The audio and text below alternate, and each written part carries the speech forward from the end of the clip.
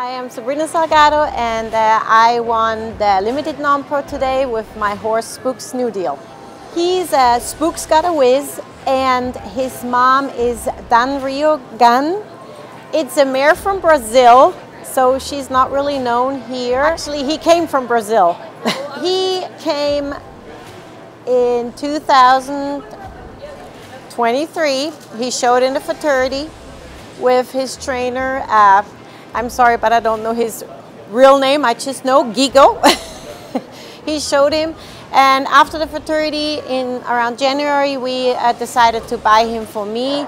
Uh, unfortunately, his four-year-old year, he was hurt a lot. Uh, I showed him the first time at the Derby, and it was uh, not too good. I was too nervous. And yeah, I thought I'm gonna finish this year with him uh, doing just a no pressure run and it felt really good and we had a lot of fun.